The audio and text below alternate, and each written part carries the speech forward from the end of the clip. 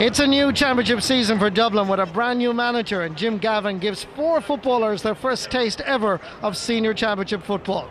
Darren Daly, Johnny Cooper, and Jack McCaffrey are the new kids on the Dublin defensive block, while Paul Mannion gets the right corner forward jersey to join Paddy Andrews and Bernard Brogan in an inner line that has goals written all over it. Newly promoted Division 1 side Westmeath look very strong from goalkeeper Gary Connaughton to full forward Dennis Glennon. David Duffy and John Heslin's performance in the middle of the field will be crucial. They also have an impressive half back line of Doran Hart, Paul Sharry and John Gaffey. The bad news, however, is that Desi Dolan can't start with a hamstring problem. His place goes to Kieran Curley. It's the 16th championship meeting between the counties with the score standing at 12 to 3 in Dublin's favour choice here. Mannion or Brogan. They get both involved, and the finish is sublime. It's that simple. Ominous signs from a Westmeath perspective. Outrageous pace uh, is the fear I have if I was marking these guys. They're just flyers, and their ball movement and uh, foot movement very, very fast. Great score. Jack McCaffrey is able to give the long pass accurately. Paddy Andrews. One, two, and it's over the bar. High quality football using the long diagonal pass from Jack McCaffrey and a brilliant finish. McCaffrey, just 19 years of age, won't be 20 until October. Cian Sullivan, Kieran Kilkenny will be 20 in August. You get the picture, this is a very young side being built and created by Jim Gavin won an All Ireland himself in 95. Here's Cian O'Sullivan, straight between the posts. Brilliant. Really cuts inside with the, the slicer. Excellent. Paul Flynn. Gone inside is Paddy Andrews. He needs the support outside. There's nobody there. Andrews does it himself. And the ball goes over the crossbar for Paddy Andrews' second point of the game. It's easy, very easy for Dublin, and we only have 20 minutes played. Paul Sharry, introduced to the Westmeath team by Tommaso Flaherty, ex Shamrock Rovers footballer. Here's one man who could score for Westmeath Dennis Glennon, and he gets inside the cover rather easily, provided by Rory O'Carroll. Still Glennon makes an angle. Is it going over the bar? The umpires have a look. It's, and there is a white flag. Hawkeye hasn't been called in, but it is over the bar. Picked up again by Jack McCaffrey. Great burst of speed, heading towards the 20. Want to lay it off. Chance here for Dublin for another score, and it's well taken.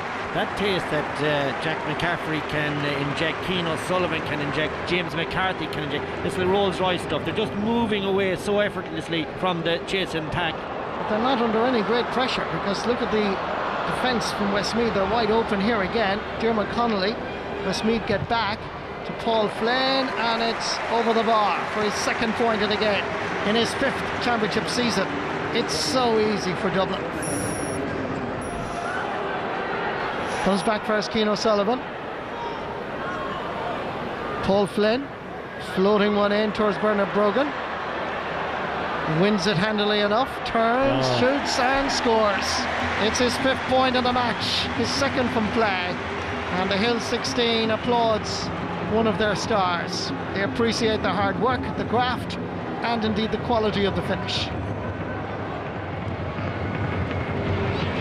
Dennis Glennon scored the first point for Westmeath after 23 minutes. Had an eye at the goalpost at the Davin end, makes an angle, takes a shot, and it's over the bar. He's really on his own, Marty, I'd say, Dennis Glennon. You'd have to say the lone serious threat because he can penetrate with his pace. Uh, and once you take him out of it, Westmeath, they're really struggling in the absence of, of Desi Dolan to give him a handout. Diarmuid Connolly. Back fires Michael Darragh Macauley again. Connolly has a deadly left foot. Here it comes, and there it goes. It's his second point of the game. Double scores in Croke Park, and to be honest with you, Dublin are playing in just about second gear. Diarmuid Connolly up into the air and lays it off quickly. Good ball inside towards Dean Rock, heading towards the 20. The layoff is to Paddy Andrews. Is there a goal on here? He tucks it away. Magic. Paddy Andrews. One goal, three points. Rock to Andrews. Ballymun to St. Brigid's. Westmeath have no answer. A very, very simple goal, brilliantly put together. So beautiful to watch. Well, there were favourites coming into the match. They are the league champions, but they are playing with a certain swagger, and they're finishing it off with a brilliant point by Diarmuid Connolly. And Dublin strolling to that Leinster semi-final. Dublin worthy winners. They are not just realistic contenders for the Leinster Championship, they are realistic contenders for the All-Ireland. Pat Flanagan congratulates Jim Gavin. Dublin worthy winners, never in any doubt. On a full-time score of Dublin one goal and 22 points, Westmeath, nine points patchy performance, um, but great to get the result. Um, you know, Westmeath are very honest uh, in, in the game and, and, certainly put up to us for, for certain quarters of it. But I think yeah, the last part of the game we kind of pulled away and probably wasn't a true reflection of the intensity that Westmeath brought to the game. Pat Gilroy spent two or three years downing and deafening all the hype but the hype will start up again here and they're playing into Kildare team. They didn't play great either so the hype machine will rage again. And really and truly they haven't been tested uh, tonight. They won't have learned a whole lot. So supporters might get a bit excited now. That's a convincing win in any stage of the Leinster Championship. You can only play what's in front you, can only beat what's in front of you.